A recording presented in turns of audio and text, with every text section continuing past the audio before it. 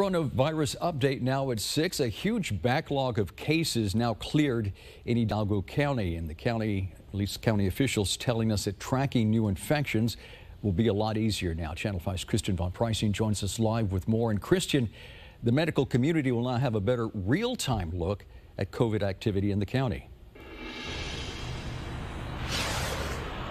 Oscar, ever since the start of Omicron, hospitals have been dealing with patients. And yeah, it, it's been harder to get a real sense of how many cases we've been getting per day because of this backlog. And it's also showing, not the backlog is down, it's also showing that our situation is improving. The number today, 26 new cases and four deaths. It's better than before. The problem that vendors across the county were doing their own testing and then submitting it to the state. The state had this delay in getting it back to the county. And then somebody who was uh, testing positive weeks ago, you would just be hearing about it now. Now that's changed.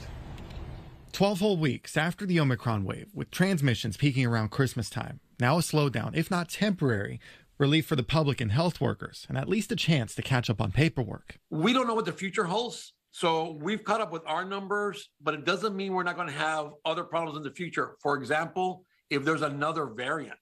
A backlog of 45,000 cases because testing and reporting is decentralized. Hidalgo County does its own testing. 186 vendors do their testing. People are testing at home, and those results should go to the state before they're reported back to the county. During the Omicron wave, that was a problem. The Omicron really didn't hit the valley until right around Christmas time. And all of a sudden, everyone came back from vacation. Everyone came uh, about to go on vacation. Everyone needed to get tested. So there's a huge demand on testing. Now reaching the two year anniversary of the first COVID case in Hidalgo County, March 21st, 2020. This slowdown is now a good respite, but Olivarez expects it'll be back again. COVID is becoming endemic. It is no longer pandemic, it is much endemic. In other words, it's here to stay. It's part of our uh, viral uh, inventory that we have now in the United States and in here in Texas. Expecting a new mutation, he says it won't go away. The challenges that started this time two years ago to repeat themselves. Two years, and now we're on day 743 since the start of the pandemic here in Hidalgo County. 195 total cases, 3,871 deaths.